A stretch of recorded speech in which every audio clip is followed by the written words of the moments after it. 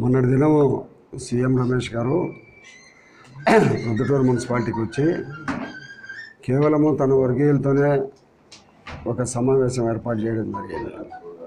స్థానికంగా municipal Telugu Desam party municipal chairman గారు ఉండబడినా కూడా మున్సిపల్ చైర్మన్ గారికి తెలియకుండా ఇంకా తెలుగుదేశం పార్టీ కౌన్సిలర్లకు కూడా ఏమాత్రం చెప్పకుండా తను కౌన్సిలర్లు ఆయన ఒక్కడే వచ్చి ఇక్కడ ఒక రెండు గంటల సేపు సమావేశం ఏర్పాటు చేయడం జరిగింది.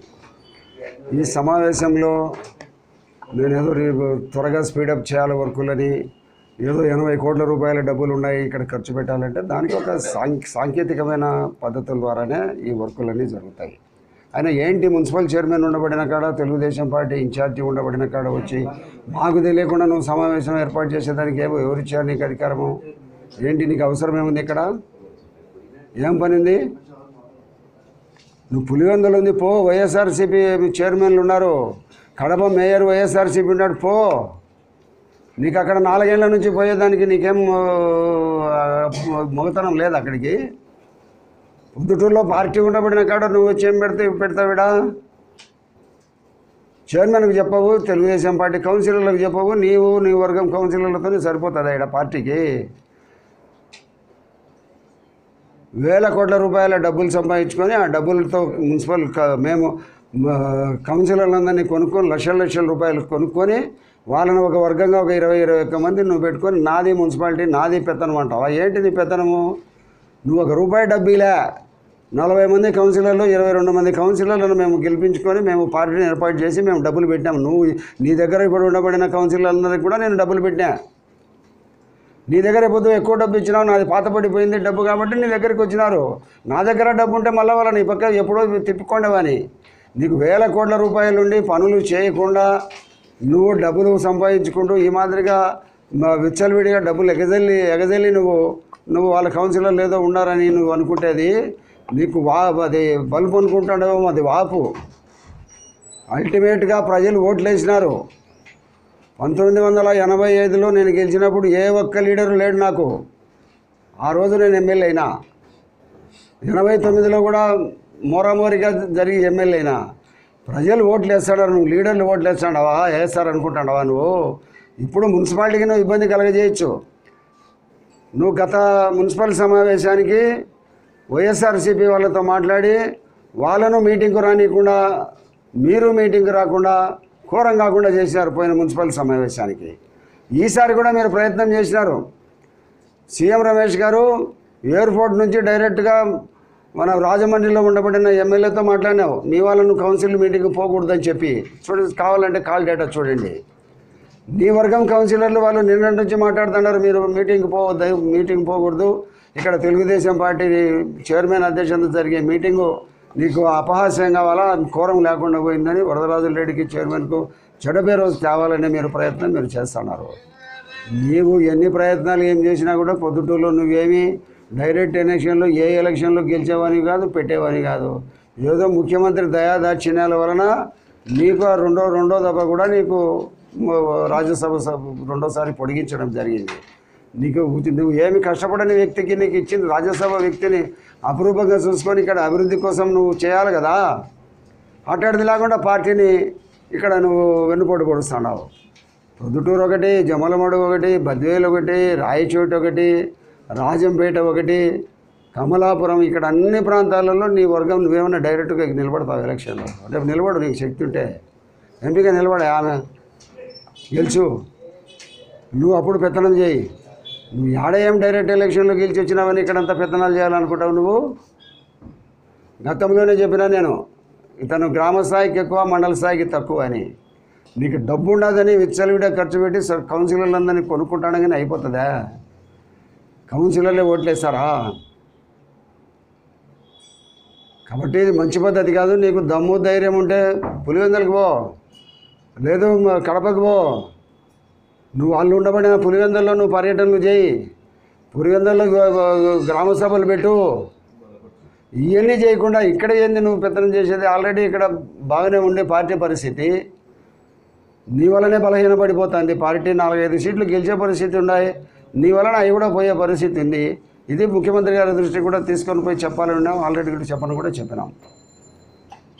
నీ యొక్క నువ్వు నీకు నీకు నువ్వు ఇక్కడ డైరెక్ట్ ఎలక్షన్లు గెలిచే పరిస్థితి లేని వ్యక్తివి. నీకెందుకే అవన్నీ కౌన్సిల్ బలహీనపరుస్తానని ప్రయత్నం చేస్తావు. పోయిన దఫా నువ్వు వాళ్ళు రాకుండా చేసినావు. ఈ దఫా కూడా ప్రయత్నం చేస్తే మీ మాట ఎందుకంటే మేమెందుకు చెడిపోవాలా? మాకు మోసం చేసి మా పార్టీలో కౌన్సిలర్లుగా గెలిచి ఆ పార్టీలకు వెళ్ళిపోయినారు కాబట్టి మీ మాట ఏంటంటే మాకేంటి అనే ఉద్దేశంతో వాళ్ళందరూ వస్తే ఇల్లు ఈరోజు విధి లేని పరిస్థితుల్లో వీళ్ళు వచ్చినారు. అతని తమ్ముడు నిలబడాలని ఉన్నాడు. రైట్ మంచిదే. నీ తమ్ముడు నిలబడినా కూడా మా సహకారం కూడా కావాలి కదా? అన్నే నిలబడి అన్నాడు. ఎవరు నిలబడాలనే ఒకరికొకరు అందరం కలుసుకొని పనిచేసినప్పుడు మాత్రమే ఇక్కడ ఏదన్నా మనం గెలుపుకి అవకాశాలు ఉంటాయి. అవన్నీ లేకుండా నువ్వేదో మాకు ఇవి ఇవన్నీ చేస్తా ఉంటే ఎవరికి ఎవరికి టికెట్ వచ్చినా కూడా పార్టీని బలహీనపరిచి ఇక్కడ అతన్ని అస్థిరపరిచే ప్రయత్నం అనేది నువ్వు చేస్తున్నావు తప్పక. పార్టీ బలపరిచే ప్రయత్నం నువ్వు చేయలే. పార్టీ బలపరచాలంటే కడపకు పో పులివెందలకు పో కౌన్సిల్ సమావేశాల్లో మాట్లాడు వర్గాన్ని కూడగట్టు. మనం బాగా నీళ్ళు ఇచ్చినాము గౌరవ ముఖ్యమంత్రి గారు పులివెందల ఏరియాలో అంతా. రోజు పో పాదయాత్రలు చేయి. అవన్నీ చేయకుండా ఏదో ఫ్లైట్లలో ఫ్లైట్లలోనే తిరుగుతుంటే వేల కోట్ల రూపాయలు అక్రమార్జన చేసి కాంట్రాక్టర్ల ద్వారా డబ్బులంతా విపరీతంగా మనం దొంగ బిల్లులు వేసుకొని డబ్బులు సంపాదించి. అంట. అయ్యా పార్టీలో నేను ఇన్ఛార్జ్ ఉన్నాము ఎవరన్నా ఉండని ఇక్కడ పార్టీ బలోపేతం చేస్తాము. ఎవరి టికెట్ ఇచ్చినా మనం పార్టీ కోసం చేస్తామని నేను చెప్తానున్నాను ఇదేం నా నా నా నాకు నాకే టికెట్ వస్తుంది నాకే చేయాలని నేను అనుకుంటానన్నా. చాలా సమావేశాలలో చెప్పిన నేను ఇప్పటికి కూడా చెప్తున్నా. పార్టీ టికెట్ గౌరవ ముఖ్యమంత్రి గారు ఎవరికి ఇస్తే వాళ్ళకు కట్టుబడి శిరస్సు ఉంచి వాళ్ళకి పనిచేస్తాం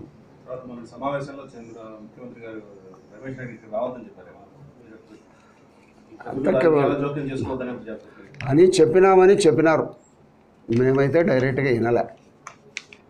పొద్దుటూరులో నువ్వు పోవద్దని చెప్పినామనే మాట అయితే చెప్పినారు నేను విన్నా కానీ నేనైతే వాళ్ళు చెప్పంగా నేను వినలే. కాబట్టి నేను కూడా డైరెక్ట్గా ముఖ్యమంత్రి గారికి విషయం తెలియజేసి ఇదేదో కఠినమైన నిర్ణయాలు తీసుకొని ఇది చేయాలి. ఎనభై కోట్ల రూపాయలు డబ్బులు ఉండదు ఎనభై కోట్ల రూపాయలు ఏం చేయాలి? దొంగ బిల్లులు ఇచ్చినా అయిపోతుంది. ఆయన దొంగ ఆయన దొంగ ఆయన పనులు చేయకుండా అట్లా బిల్లులు వేసుకుంటాడు అట్లా వేసుకోండి అని అంటాడు. అందరి కౌన్సిలర్ ఏం ఇక్కడ పోయి స్టాఫ్ ఉన్నారు టెండర్లు పిలిచినాం పనులు జరుగుతున్నాయి పనులు జరిగిన తర్వాత ఇంజనీర్లు బిల్లులు చేస్తారు బిల్లులు తీసుకుంటారు తర్వాత జరుగుతాయి. ఇదేమన్నా మా మాయిల్ పకేరు మంత్రదండమా హాం పట్టంటే ఇటరాను హాం పట్టేటరాను దానికన్నా పద్ధతులు ఉన్నాయి. ఆ పద్ధతుల ద్వారా పనులు చేస్తున్నాం. ఎవరమేమో ఆగి ఆపినాము? నీకు ఉండబడిన శ్రద్ధ మాకు లేదా? ఎనభై కోట్ల రూపాయలు ఖర్చు పెట్టండి అయిపోచేయండి ఎట్లా అయిపోచేస్తారు నిబంధనల ప్రకారమే పనులు చేయాలి కదా? ప్రొద్దుటూరులో అన్ని డెవలప్మెంట్ యాక్టివిటీస్ జరుగుతున్నాయి. ఇక్కడ ఇంజనీర్లను పనులు పనులు చేయొద్దు నువ్వు పోవద్దు అంటావు. నీ చెప్పు చేతల కింద ఉండాలి నీకు జం జాగిరా ఇది. ప్రజలు ఎవరికి అధికారం ఇస్తే వాళ్ళు ఉంటారు. నీకు ప్రజలు ఏం అధికారం ఇలే నువ్వు ఏదో నామినేషన్ మీద పైన నుంచి అట ఆకాశం నుంచి దిగినావు.